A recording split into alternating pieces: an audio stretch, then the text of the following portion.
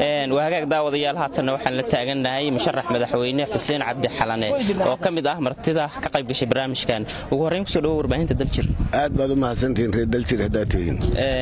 Maanta waxaad ka qayb gashay munaasabadan aad ku ballaaran gaalkacyo lagu qabtay.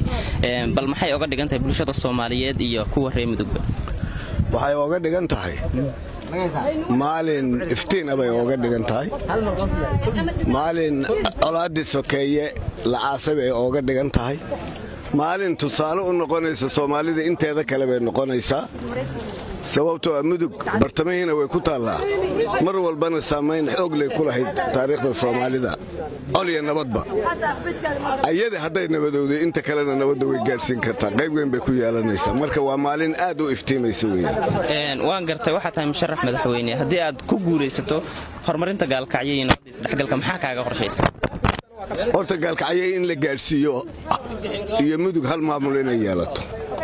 Weli hadda hawshan meel fiican bay joogtaa bilow ah inay gaadho hal maamul oo gobol iyo hal maamul ay yeelato in mudnaanta ay leedahayna la siiyo meel bartamo aho dalka isku xidhay ku taallaae taariikhdeeda ay leedahay iyo waxtarkeedana loo aqoonsado.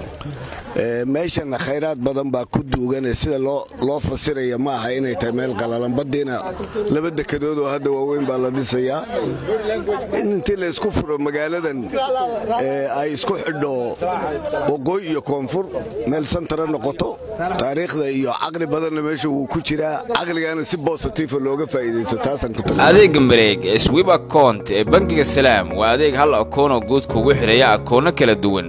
Waxa uuna kuu suurtagelinayaa lacagta akoomada hoose ku dhacday inay si toosa ugu wareegto akoonka guud adigoo aan wareejin markii ay gaarto xadkii ama xilligii aad u dooratay